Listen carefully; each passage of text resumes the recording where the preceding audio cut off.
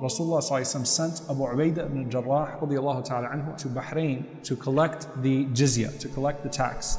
And the Prophet ﷺ had concluded a peace treaty with the people of Bahrain and he appointed Al-Ala ibn Hadrami radiallahu ta'ala anhu as their chief. So when Abu Ubaidah radiallahu anhu came back to Medina from Bahrain with a lot of money, the Ansar heard of his, of his coming back And it happened to coincide with Salatul Fajr in the masjid of the Prophet sallallahu alaihi wasallam. So the Prophet ﷺ led them in Salatul Fajr.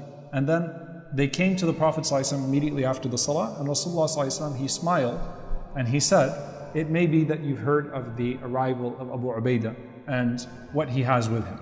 Okay? So they said, Yes, O Rasulullah, yes, O Messenger of Allah. So the Prophet ﷺ says, Have the good news and the hope of that which will please you. But he said, I swear by Allah, I'm not worried about you ever becoming poor, but rather what I am worried about is that wealth will be given to you in abundance as it was given to those that came before you. And so you will fight over it the way that they fought over it and it will distract you, it will divert you away from Allah subhanahu wa ta'ala the way that it distracted them from Allah subhanahu wa ta'ala.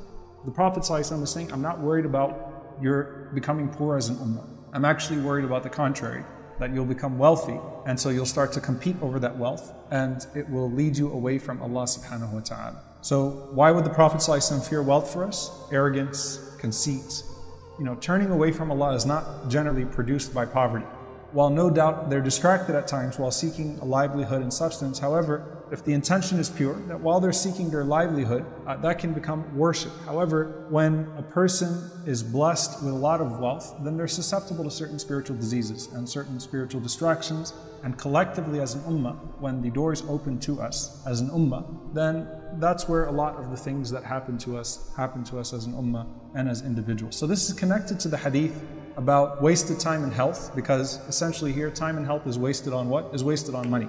It's connected to the hadith about being a stranger because one feels like all that they have is this life and so they try to collect what they can. It's connected to the hadiths about false hopes because a person thinks that money will satisfy them even in their old age the Sahaba were not lost as a result of the wealth that came to them. SubhanAllah, you look at the conquest of the greatest palace in the world at the time was the palace of Kisra. It was the most lavish palace that was known to the world at the time of the Prophet.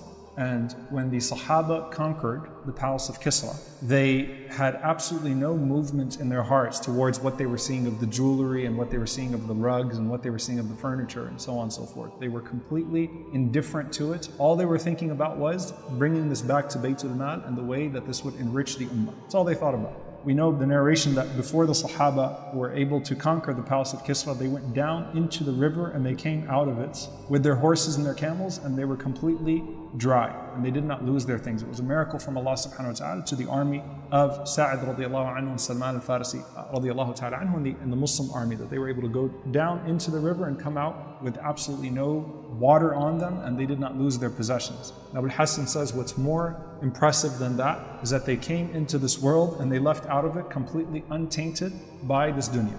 They were not moved by what they were seeing in that palace of Kisra. And it's connected to the loss of trust because why do people eventually cheat and make false oaths and uh, try to take people out? Because they cheat for money right? So it's connected to the overall quality of people, the condition of the world, and what happens to the individuals. Which brings us to the next hadith. Ibn Abbas anhuma narrates that the Prophet said, if the son of Adam had two valleys of money, he would wish for a third, and nothing can satisfy or fill the belly of the child of Adam except for dirt, meaning death. And Allah subhanahu wa ta'ala forgives the one who turns back to him.